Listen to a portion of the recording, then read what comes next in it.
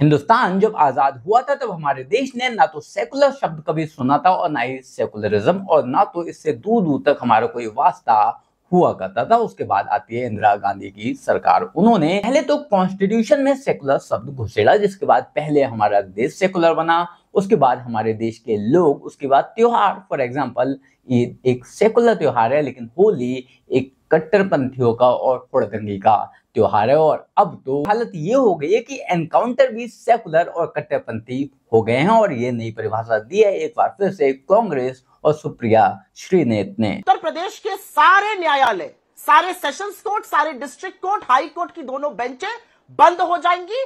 और अब यूपी के एसटीएफ के चीफ अमिताभ यश वो न्याय न्याय प्रक्रिया चलाएँगे, क्योंकि न्याय का अबॉर्शन यूपी में लगातार हो रहा है। मुझे इस बात का जवाब दीजिए कि आपको ये भद्दी फ़िल्म की स्क्रिप्ट नहीं लगती है?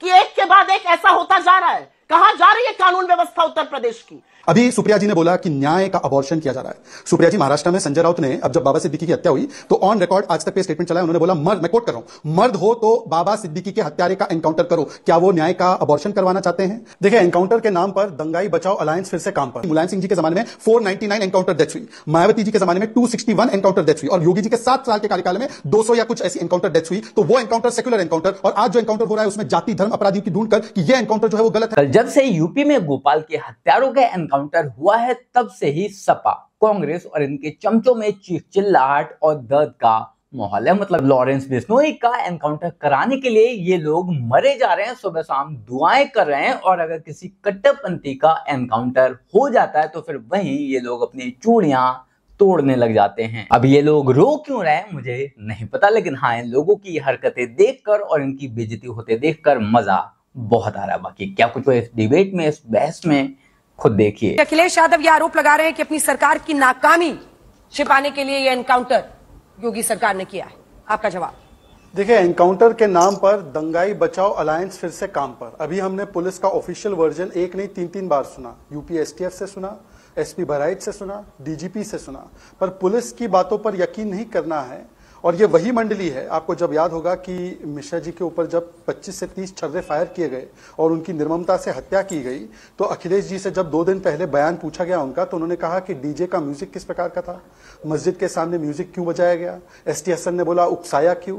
मतलब कि जिस व्यक्ति को निर्ममता से मारा गया है बीस पच्चीस गोलियाँ उसके विषय में तो ये तर्क कुतर्क एक्शन रिएक्शन देने लगे। पर अगर पुलिस जवाबी फायरिंग कर दे तो पुलिस की तो जवाबी फायरिंग पर भरोसा नहीं। अजय राय जी ने भी बोला है ये फेक एनकाउंटर है। वैसे तो इसमें आपको प्रोटोकॉल पता है कि एनएचआरसी की जाँच और judicial magistrate not government judicial magistrate की जाँच होती है, उसके बाद ही निर्णय होता है। पर देखिए, ये वो गठबंधन है सर्जिकल स्ट्राइक पर। डीजीएमओ ने प्रूफ दिया, क्या बोला? सबूत दिखाइए। बालाकोट स्ट्राइक पर एयर चीफ मार्शल ने बोला, क्या बोला? चील कौवे मरे। हमारे साथ जो पैनलिस्ट बैठे हैं, उसमें से एक ने नक्सलियों को जब छत्तीसगढ़ में वो एनकाउंटर हुआ तो शहीद बोलने का काम सुप्रिया श्रीनेत ने बोला था। सेना के अध्यक्ष को सड़क का गुंडा बोला था। यूपी एटीएस ने जब अलकायदा के आतंकियों को गिरफ़्तार किया तो अखिलेश जी ने बोला यूपी एटीएस पर मुझे भरोसा नहीं है। हम्म। बाटला हाउस पर सोनिया जी फूट फूट कर रोई थी। वर्दी पर सवाल उठाना और वोट बैंक के लिए वर्दी पर चोट करना ये उनकी पुरानी आदत है। मैं आपको उसका एक उदाहरण भी दे देता हूँ सुनिए ये। सारे शहीदों को शहादत का दर्जा दिया जाए। जो उनको शहीद बना रहे हैं उनके खिलाफ जंग छेड़ी जाए।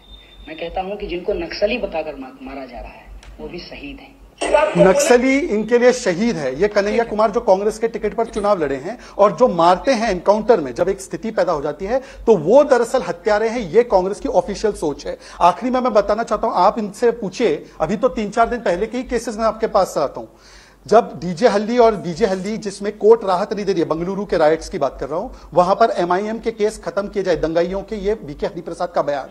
हुब्बली राइट्स में दंगाइयों के केस एमआईएम के खत्म किए क्योंकि वहाँ पर रिश्ता करना है नया कायम उनको। एक सौ पचहत्तर एसडीपीआई के दंगाइयों के केस इन्होंने खत्म किए। हम्म। ताहिर हुसैन पर जब आरोप लगे थे तो इसकी पूरी मंडली ने कहा था कि मुस्लिम है इसलिए परेशान किया जा रहा है। जावेद अख्तर जैसे लोगों ने भी कहा था। फिर कोर्ट ने आज तक ताहिर हुसैन को राइट्स के लिए कोई बेल नहीं दी है। टीएमसी ने जब रामनवमी के दंगे हुए थे बंगाल में तो हिंदुओं पर दोष डाला था कहा था कि मुस्लिम इलाके में क्यों गए? गणेश विसर्जन पर जब हमला हुआ अभी कर्नाटका में तो वहाँ के होम मिनिस्टर ने बोला कि यह एक्सीडेंटल है। मतलब कि बावन लोग हथियार से मारे गए उनके ऊपर चोट हुई पत्थर बरसाए गए और कर्नाटका के होम मिनिस्टर क्या बोलते हैं? यह एक्सीडेंटल है। तो मुझे लगता है कि आज सोच बहुत साफ़ है कि वोट बैंक का मिलेगा वोट वर्दी पर करो चोट इसीलिए ये सब लोग जो है ये इकट्ठा हो जाते हैं पुलिस पर सवाल खड़े करने के लिए। रिपोर्ट जी कोई खास वजह है कि हम पुलिस की बात पर ना भरोसा करके जो दूसरा हिस्सा है उस वर्जन पर विश्वास करें। और कांग्रेस पार्टी का ऑफिशियल स्टैंड क्या है? क्योंकि अखिलेश यादव तो सामने आए लेकिन कांग्रेस पार्टी से अभी किसी का बयान ऑफिशियली मुझे नहीं दिखा है। क्या है कांग्रेस पार्टी का ऑफिशियल स्टैंड इस पर इस एनकाउंटर अजय राय का आया। अजय राय का आया अजय राय का आया हुआ है। ठीक है अजय राय की अगर बाइट हो तो अजय राय का बयान आ ठीक चुका है है। ठीक है। अंजना जी मैंने आपकी रिपोर्ट बड़ी ध्यान से सुनी और मेरे बारे में कुछ झूठ भी कहा गया। मुझे नहीं लगता कि मैं अपना टाइम भी बर्बाद करूँगी इनके मुँह लगकर लेकिन आपकी रिपोर्ट में कुछ बातें कही गई, वो बातें कहने से, उनका जवाब देने से पहले मैं दो चीज़ें कहना चाहती हूँ। योगी आदित्यनाथ को उत्तर प्रदेश के सत्र का तुरंत आपातकाल सेशन बुलाना चाहिए और एक पारित करना चाहिए। एक लाइन का अध्यादेश पारित करवाए वो और यहाँ पर भेज दें कि उत्तर प्रदेश के सारे न्यायालय, सारे सेशंस कोर्ट सारे डिस्ट्रिक्ट कोर्ट हाई कोर्ट की दोनों बेंचें बंद हो जाएँगी। और अब यूपी के एसटीएफ के चीफ अमिताभ यश वो न्याय न्याय प्रक्रिया चलाएँगे।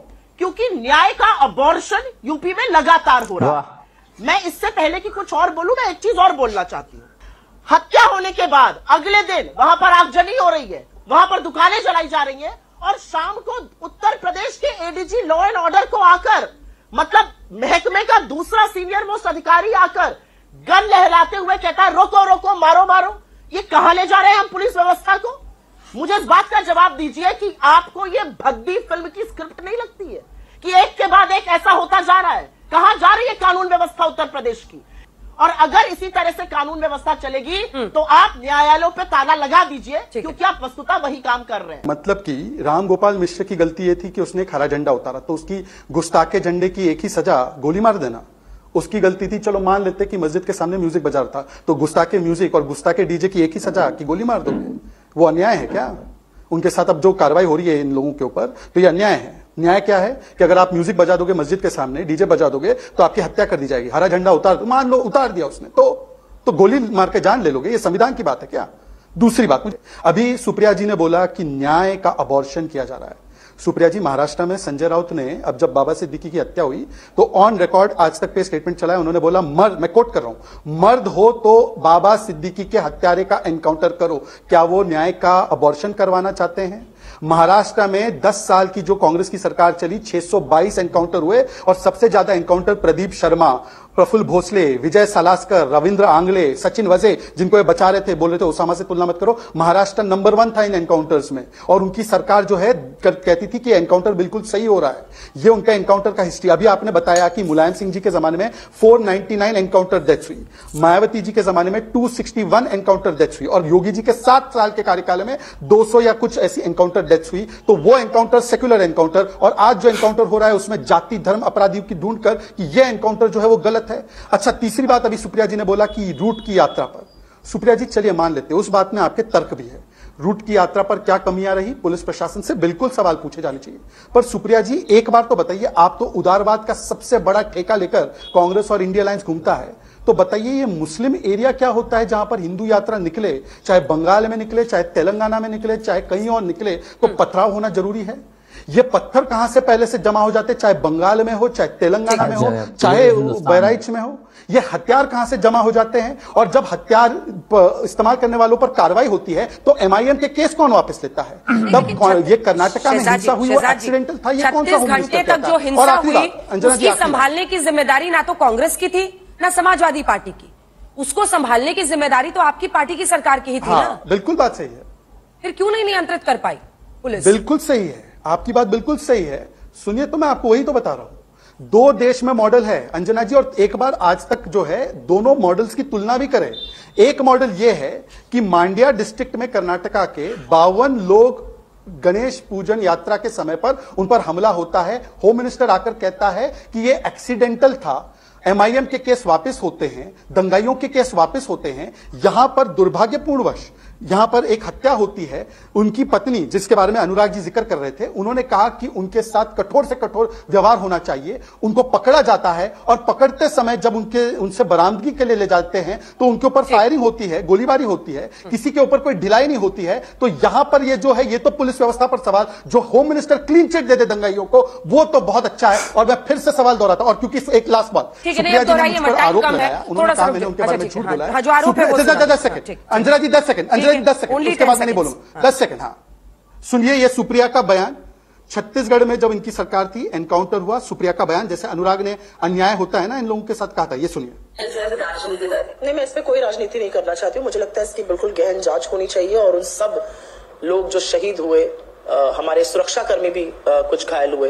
उन सबको हमारी संवेदनाएँ। सुरक्षा कर्मी केवल घायल हुए थे। कोई हमारे पुलिस वाले या सीआरपीएफ के लोग की जान नहीं गई थी। मरे केवल नक्सल आतंकी थे। उनको सुप्रिया ने नक्सली को शहीद बोला था सुप्रिया श्रीनेत आपने 20 सीट आएगी बीजेपी की ये बोला था और फिर नाम बदलने की बात की थी। बात आप बदलती है झूठ आप बोलती है मैं शहजाद पूनावाला हूँ अपनी बात को कभी मैं अभी देखो शहजाद पूनावाला अपनी बात को बदलने वालों में से हो या फिर ना हो वो अलग बात है लेकिन सुप्रिया श्रीनेत वो नाम है जो कि एक मिनट के अंदर ही अपनी बात से पलट जाती है एक पल में ही अपनी बात से मुका जाती है और पूरी तरह से ही मुका जाती है। और शायद इसी वजह से अभी एंकरिंग करते करते अगले दिन ही ये बंदी इलेक्शन लड़ने को तैयार हो जाती है। कांग्रेस पार्टी ज्वाइन कर लेती है और इसी तरह की बहुत सारे किस्से इसकी ज़िंदगी में लगातार चलते रहते हैं और शायद इसी वजह से आज की डेट में इसकी विश्वसनीयता पर भी सवाल खड़ा रहता है। हमेशा ही खड़ा रहता है। बाकी आप लोग इस बारे में क्या सोचते हैं, कमेंट कर ज़रूर बताएँ। जल्द मिलते हैं किसी नए वीडियो में नए टॉपिक के साथ। तब तक गुड बाय नमस्कार।